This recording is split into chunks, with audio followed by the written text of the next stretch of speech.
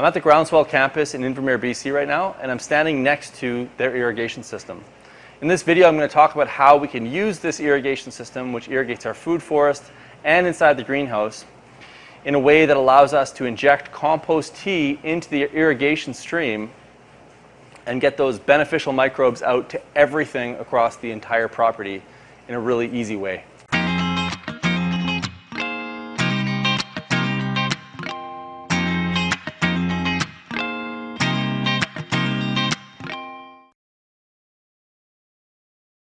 And so this irrigation system manages all of the internal irrigation within the greenhouse, but we also have a line out going into the food forest.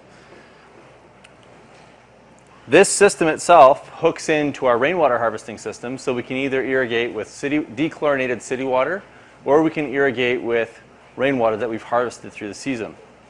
And one of the extra little features that we installed on this irrigation system is an injector.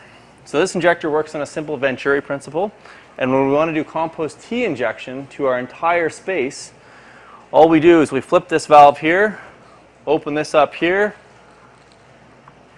open this up right here, and then we take our suction hose, we dip it into the extract, and then we turn on our irrigation.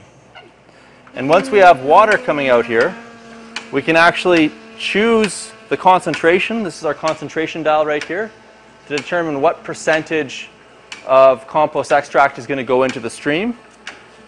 You can see that it's actually getting sucked up into the system right now. And this takes care of our fertility program in a really simple and easy to use manner. I'm not outside having to spray with a spray pack anymore. I can just use this injection system to make sure that all of my plants and trees are getting a regular dose of microbes. If you're already running an irrigation system, you might want to check out one of these little injection, injection systems and couple it with a compost extractor or compost tea brewer. And you'll find that you get incredible results when you start adding microbes into your soil on a regular basis. It's a really painless way of doing this. If you found this stuff interesting, make sure you subscribe to our YouTube channel, leave any questions or comments below, and check out the websites vergepermaculture.ca and groundswell.ca for more information.